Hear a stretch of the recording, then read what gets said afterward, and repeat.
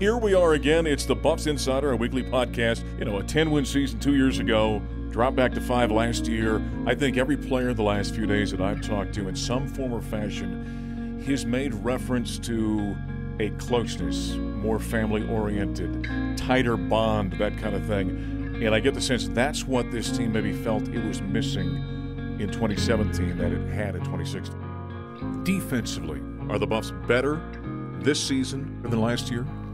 I like this defense a lot better. I think this, I think this defense has a chance to be uh, a little bit of a surprise to people.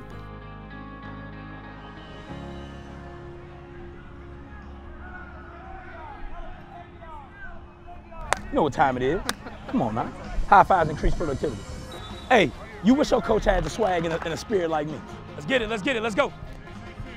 I'm Kwahn Drake, defensive line coach, University of Colorado from New Orleans, Louisiana. Over the last few years, they've had different staff members, myself, you know, just adding different guys and different personalities. Sometimes it changes the recipe a little bit. There you go, good job. Next two up, let's go. Hey, make sure we're knocking it back. Knock it back, reaching down. Let's go. The one thing that everyone uh, requested was energy. Volley, volley, volley, volley, volley. Coach Drake. he has a lot of energy. I think he's a great coach, very enthusiastic, not just with us, but he motivates the whole team. Good job. Get up. Woo, that was good stuff right there. That's picture perfect. So talking to like older players and stuff, they uh they're all saying that our bond together and our connection has been a major difference. Knowing that they can trust the person beside them with the linebackers and stuff like our connection. So we all just kind of support each other and have faith that we're gonna get what we need to get done. Drill squad. Lead us.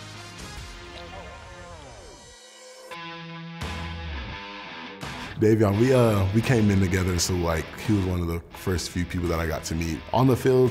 That man is fast.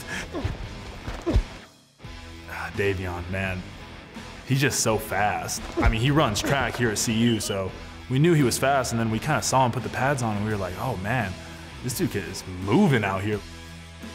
He is explosive as it gets for an outside backer. You don't see many guys that can close the way that Davion can close on people. He's a tough kid that can absolutely run. He can pass rush, he can cover, he can pursue. Uh, he just got a passion to play the game.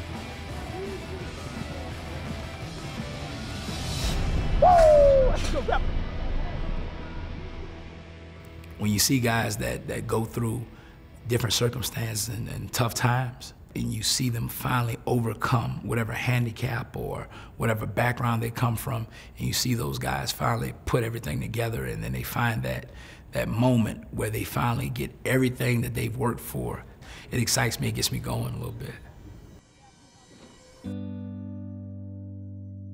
There is no story developing that to me is more intriguing, I think, just from the overcoming aspect. Davion Taylor, you know, the really interesting thing about this kid is, is he did not play high school football because he could not play on Friday nights. My name is Davion Taylor. I'm an outside linebacker, and I'm from Magnolia, Mississippi.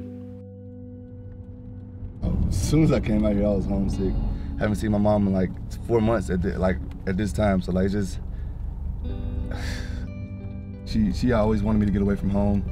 Uh, anyways, because ain't nothing uh, down there for me besides just violence and all the other things that, that I could just end up in jail.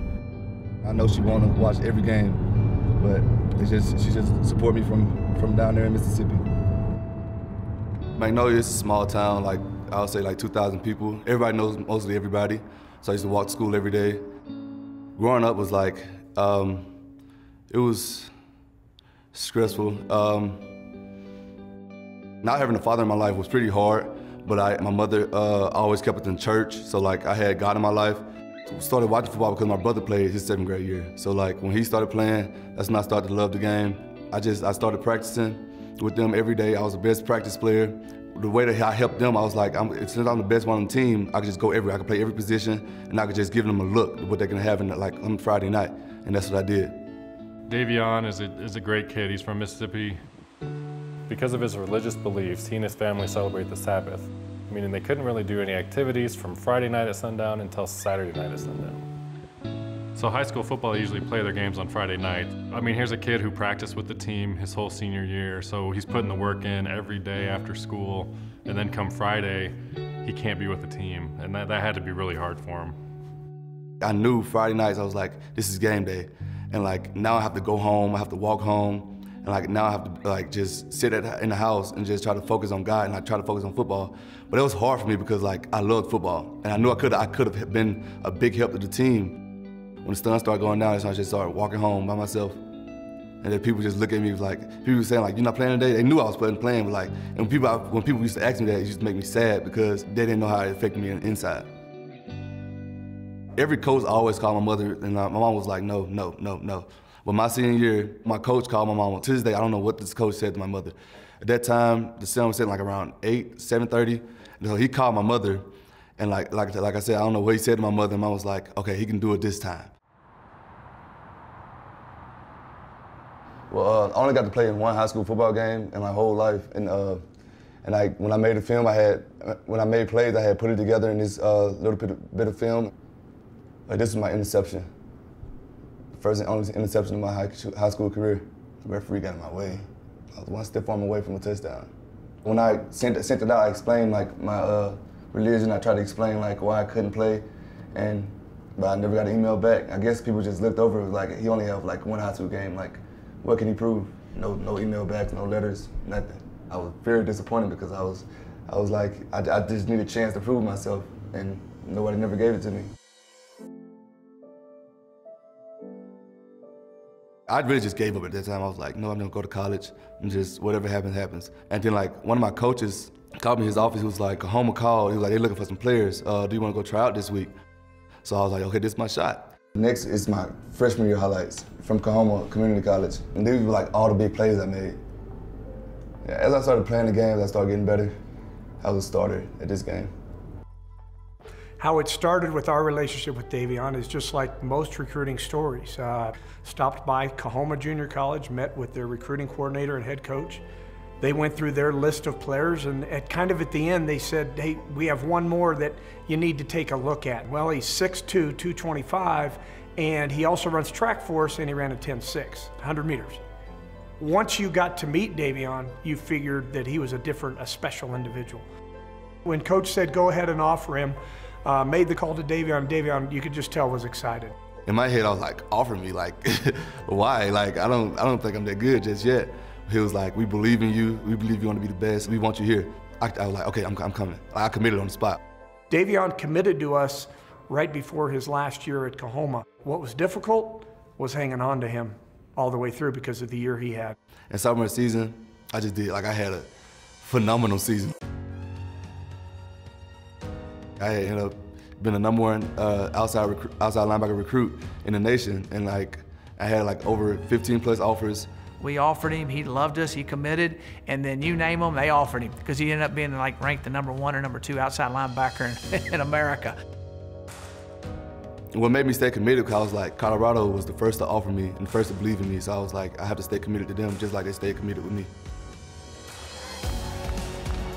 Hi, everybody, and welcome to Boulder. Let's talk about the Buffs to start things up. Are they better than people thought? I think they I think folks did not uh, understand the impact changes on the coaching staff would have, nor the player development during the offseason. It's now pump fake, lost it, picked up, touchdown. Devon Taylor. That's Devon Taylor, the five. So so go. He's gobbled up. Davion Taylor. Oh my goodness. Davion Taylor comes flying through with a sack. He's just a phenomenal young man, and he's doing great here, and he just loves it. He's not only told people his dreams, he showed people his dreams. I feel like I'm still underestimated, and I just want to prove that I can compete on this level and be the best no matter my past.